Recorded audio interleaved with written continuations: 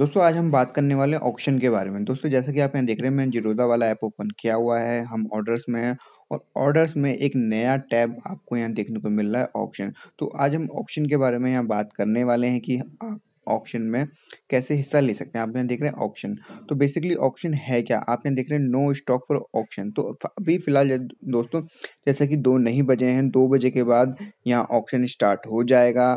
Auction से पहले यहाँ दो बजे से पहले यहाँ आपको कोई भी लिस्ट यहाँ नज़र नहीं आएगी। दोस्तों जैसे ही दो बजेंगे उसके बाद आपको एक यहाँ लिस्ट नज़र आने लगेगी नंबर ऑफ़ स्टॉक की। तो चलिए दोस्तों दो बजे के बाद आते हैं, फिर हम इसे डिटेल में समझेंगे। दोस्तों यहाँ हम आए हैं दो बजे के बाद तो आप यहाँ देख सकते हैं कि ऑक्शन में दोस्तों एक लिस्ट नज़र आ रही है जिसमें नंबर ऑफ़ शेयर्स यहाँ नज़र आ रहे हैं।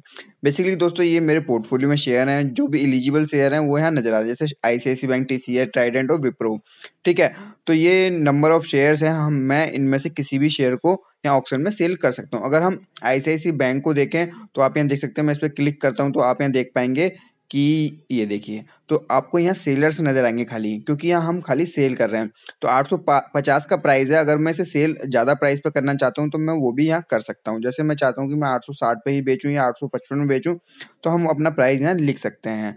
और जैसे अगर हम दूसरा शेयर देखें कोई टीसीएस तो टीसीएस का भी जैसे पै 3510 का प्राइस चल रहा है, पर मैं ज़्यादा के भाव पे बेचना चाहता हूँ तो जैसे 3520 पे तो मैं अपना 3520 का ऑर्डर भी यहाँ प्लेस कर सकता हूँ। अगर मैं 3510 पे चाहता हूँ तो 3510 का भी मैं रख सकता हूँ।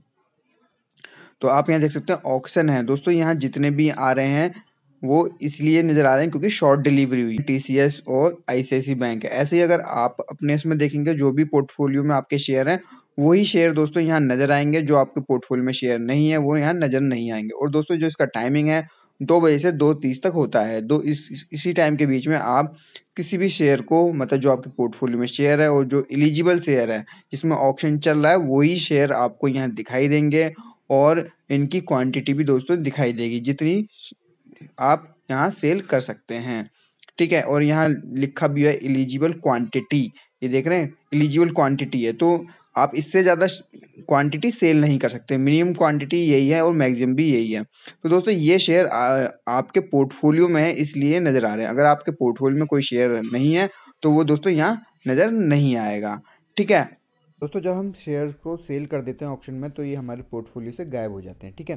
तो दोस्तों क्यों होता है ये ऐसा ऑक्शन ब्रोकर का क्यों करना पड़ता है उसका हम रीज़न यहाँ जान लेते हैं। दोस्तों जैसा कि एक नॉर्मल प्रोसेस है कि हम जब भी शेयर मार्केट में किसी भी शेयर को सबसे पहले हम बाय करते हैं और उसे सेल करते हैं। बाय कब करते हैं? कम प्राइस पे और ज़्यादा पे हम उसे सेल करते हैं, तब जाके हमें प्रॉफ़िट होता है। और दोस्तों जब हम उसे बाय करते हैं तो ये हमारे पोर्टफोलियो में चला जाता है और जब हम उसे सेल करते हैं तो ये वो हमारे पोर्टफोलियो से निकल जाता है, ठीक है? ये कंप्लीट प्रोसेस होता है।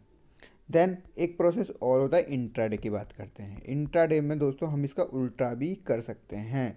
उल्टा मतलब अगर हमारे पास कोई शेयर नहीं भी है तब भी हम उसे पहले सेल कर सकते हैं और सेम डे उसे हम बाद में बाय कर सकते हैं। मतलब ये चीज़ हमें सेम डे करनी होती है सेल और बाय। तो दोस्तों क्या होता है कि जैसे हम हम समझते हैं कि हमने किसी शेयर को सेल किया। सेल हम इसलिए करते हैं जिसे हम शॉर्ट सेलिंग बोलते हैं। शॉर्ट सेलिंग में दोस्तों हम प्रॉफ़िट कमाते हैं कि हाई पे हम उसे सेल कर देते हैं और लो पे हम उसे बाय करते हैं। तो सेम प्रोसेस होता है पर हम उसे उल्टा करते हैं, पहले सेल कर देते हैं और बाद में बाय करते हैं। तो दोस्तों क्या होता है कि हमने किसी शेयर को सेल किया, मान लेते हैं कि 100 के प्राइस पे हमने शॉर्ट सेल कर दिया, ठीक है? बट वो क्या हुआ शेयर ऊपर जाने लगा। सौ रुपये पर हमने सेल किया था और 120 पहुँच गया। 120 के बाद उसमें सर्किट लग गया।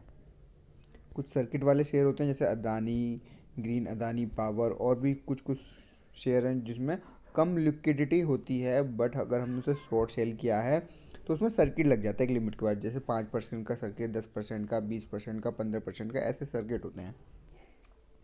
तो अगर सर्किट लग गया तो दोस्तों उस केस में क्या होगा कि आप उस शेयर को सेल नहीं कर सकते, सॉरी बाय नहीं कर सकते। जैसे अगर आपने शॉर्ट सेल किया है, सेल कर दिया है शॉर्ट सेल नीचे के भाव पर बट वो ऊपर जाके उसमें सर्किट लग जाएगा। सर्किट लगने के बाद आप उसे बाय नहीं कर पाएँगे क्योंकि आपने यहाँ सेल किया हुआ है, क्योंकि खाली बायर होंगे उसमें। तो उस केस में क्या होता है कि आप सेम डे उस शेयर को बाय नहीं कर पाते, तो क्या होता है कि वो हो जाती है शॉर्ट डिलीवरी। दोस्तों, अगर इस पर आपको फुल डिटेल वीडियो चाहिए तो मैं वो भी आपको दे दूँगा। आप मुझे कमेंट्स में बता दीजिएगा। ठीक है, वो हो जाती है शॉर्ट डिलीवरी शॉर्ट डिलीवरी मतलब आप शेयर को आपने सेल तो कर दिया बट आप उसकी डिलीवरी नहीं दे पाए। तो उस केस में क्या होता है, जो ब्रोकर होता है ना, फिर वो ऑक्शन करता है।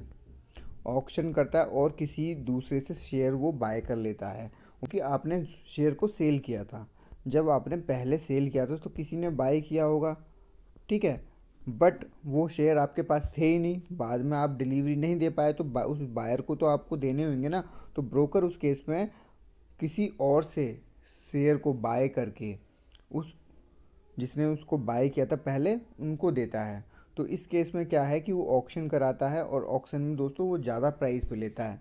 तो ज़्यादा प्राइस पे क्या होता है कि जिसने शॉर्ट सेल किया है, उस पर पेनल्टी लगती है और जिस प्राइस पर ब्रोकर ने बाई किया है, उसकी भी पेनल्टी लगाकर तो काफ़ी अमाउंट का लॉस उसे हो जाता है जिसने शॉर्ट सेल किया तो शॉर्ट सेल जो होता है दोस्तों, काफ़ी अगर आप उसमें फंस गए हैं शॉर्ट डिलीवरी हो गई है तो उस केस में आपको ज़्यादा लॉस होता है। तो शॉर्ट डिलीवरी के केस में ही ऑप्शन करना होता है, ठीक है? तो अगर ऑप्शन में आप हिस्सा लेना चाहते हैं तो आप यहाँ, अगर आपका ज़ीरो का अकाउंट है तो आप सिंपली इस तरीके से यहाँ पर उसमें हिस्सा ले सकते हैं और उन शेयर को सेल कर सकते हैं।